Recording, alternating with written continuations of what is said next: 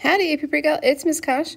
I want to um, work through the multiple choice questions that Mr. Passwater posted for 314. So this is graphing polar curves. Um, you might want to go find my previous videos of how I teach how to graph um, graph these videos uh, or graph these my video of graphing polar functions. Um, so I'm just going to jump in. I didn't have any multiple choice kind of stuff, and I think um, this polar will only show up um, in the multiple choice part of the AP exam. So that being said, we're looking at this graph right here, and they're asking us which could be an expression for this. Well, so this is a rose, and if you remember before and from some of my other videos, um, if it's got an even um, a rose is typically written r as um, is equal to some variable usually, um, and then it's either sine or cosine of another variable times theta is usually how this plays out. So it could be something like this or a cosine b theta. So when it's, um, if b is even, it has 2b number of petals. Okay, I didn't want to make that disappear. When b is odd, it has B number of petals. So what that tells us is if I had seen, if I see a picture that has, um, uh, let's say I can, let's pretend I can draw, it might do something like, do, do, do, do, do, do, do, do. They kind of spiral out this way. Oh, I've done worse, you guys. Okay, if I saw a rose that that's not actually as terrible as it looks. Um, if I see something with four petals, then this tells me that the B value is actually equal to 2. And notice right here, when I have a point on the, um, at theta equals 0, this tells me it's going to be cosine. Um, and so then the A value just is going to be the length of that petal. Okay, so looking back to this one, I see a petal um, that's got a length here of 3. So we see that it goes out to 3. But all of these have an A value of 3, so that's not very helpful. Um, I mean, it's interesting, but it's not helpful. Okay, so um, instead, we're going to need to use something else. And one of the things is that we don't have this point on our curve. Okay, so if, if we did, that would tell us it was cosine instead of sine. So I can get rid of the cosine options um, because I know um, if I plug in, if I'm looking at 3 sine of 3 times 0, sine of 0 is 0, and so then that's how I know I'm here and I'm not way out here. Okay, so let's see. Now the question is, is it going to be um, the positive or the negative? Well, so let's let's try plugging in. Um, zero is not very helpful, but maybe we can try plugging in. Um, let's see, how can I get? I'm trying to figure out what would this coordinate right here be. This looks like it's at pi over 6. Um, and if um, it looks like pi over 6, I can double check that it's pi over 6 by thinking, okay, um, I want to know sine, when does sine as big as it's going to be?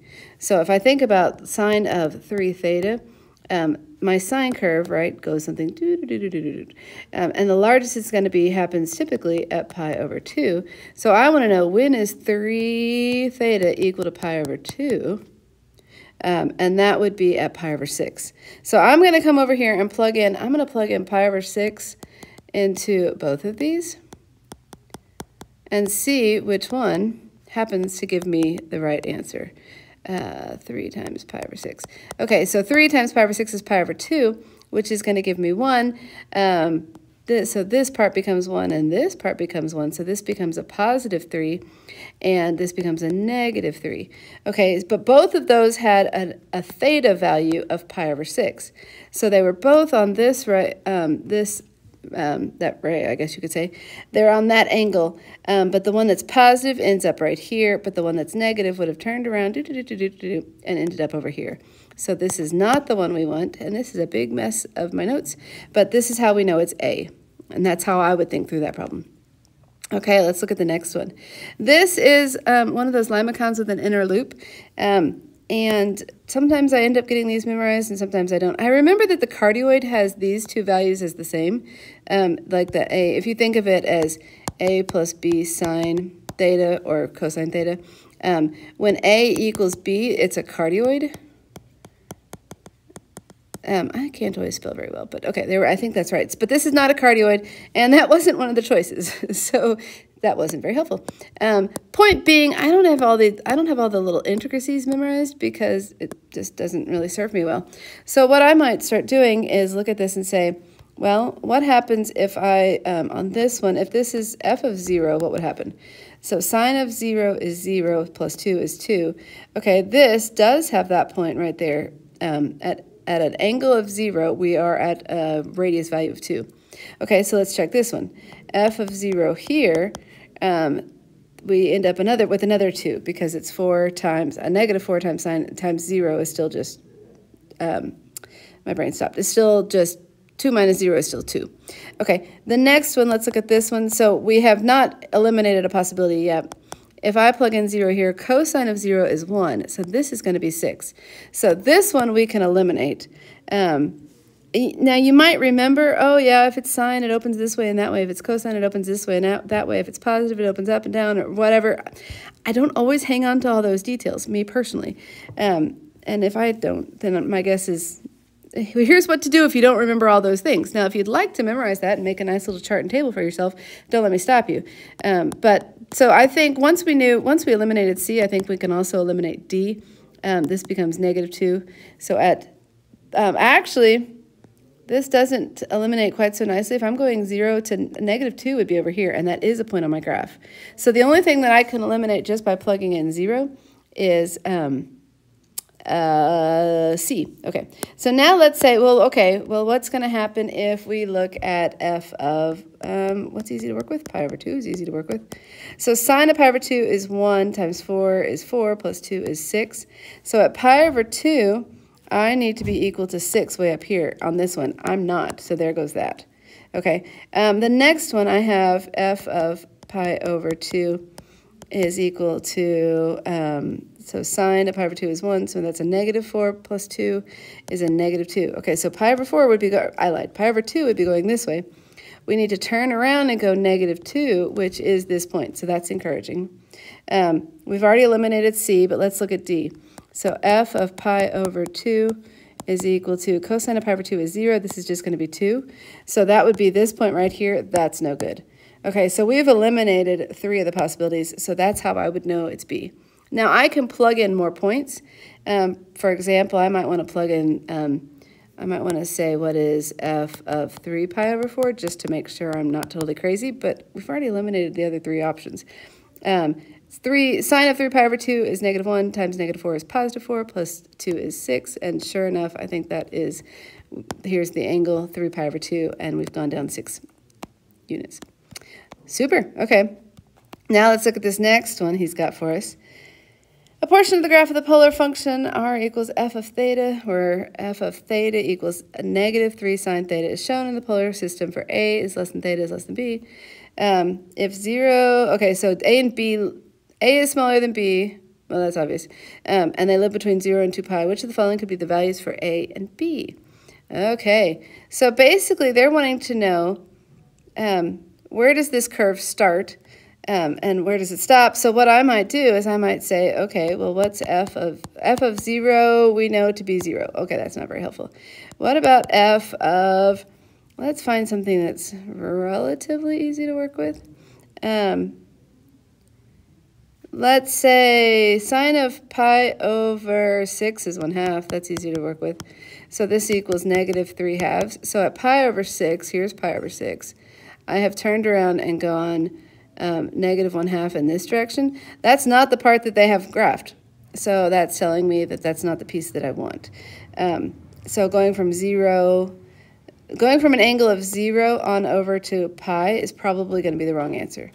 Um, so instead, I'm making a video. Give me come back. Um, so instead, we're going to keep looking at this. Let's see. So pi over 2, where would that put us? f of pi over 2, sine of pi over 2 is 1, so this is negative 3. Um, so coming up this way, we're going to turn around and come to negative 3, which is right here. Um, and then we get back to 0 by pi. So I think this is, um, we can double check and say f of pi is sine of pi, it would be 0, and that gets us back to the origin. That was a mess, but hopefully you kind of understand what I was looking at there. So I would say the answer is from pi over 2 to pi. Do we have other options? Um, the first one, 0 to pi over 2. 0 to pi over 2 is going to take us this way. Um, I think B is the correct answer. Um, 0 to pi is going to do the whole circle. And the pi over 2 to 2 pi is going to do the whole circle also. Um, so I am confident with answer choice B. Okay. Um, on this one, this is uh, going to be a rose with three petals. Um, which of the following are values for A and B? Um, I, this is 0. Cosine starts all the way out here. And so then we want to know when does it become 0? Well, so you could say, okay, 3 cosine of 3 theta, when does that equal 0? Well, divided by 3, it's gone. Cosine of 3 theta is equal to 0. When does cosine equal 0? At pi over 2. So 3 theta would equal pi over 2, which means that theta equals pi over 6. Um, did you notice we kind of did this same thing? Where did we do that? Not there. We kind of did that same thing right here. Um, it's just a different way to think through the same idea.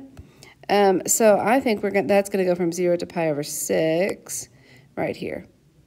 So 3 pi, um, if we, if we want to check this one, if I plug in um, pi over 3, then that gives me cosine of pi, and cosine of pi is negative 1. So at, um, at pi over 3, which is this right here, we're going to be at negative 3, so we're going to be um, way down here. So this is going to get us pi over 6, and then we're going to curve around, and here's pi over 3. Oh, that was annoying. Okay. Um, so it's D. Okay. The figure in the graph shows that. Um, it's another rose with three petals, which is the three here tells us we have three petals. Um, the domain is restricted to pi over 3 to 2 pi over 3. Okay, well, we just said a second ago that this is pi over 3. And so this is going to get us all the way up here is um, is going to be, to, so this is when theta equals pi over 3, and this is when theta equals 2 pi over 3. Okay, so then what is it saying? If the domain of f is restricted to that, okay, the portion of the graph remains, uh, the, graph that remains consists of two pieces. One of these pieces is the portion in quadrant 3 from C to D. Okay, that's this little piece. Uh, which of the following describes the other piece? Well, it's this part um, up here from, uh, what is that? Is that D at the center? I've written too much. Well, I think so. Okay, so D to A is in quadrant 2. And those are the ends of his notes for graphing. Um, that's the, the nice little multiple choice practice. Um, that's worth looking at and thinking about. So good luck. Study, study, study. Subscribe. Come back. Let me know how I can help you. Good luck. Go practice. It's the only way to learn this.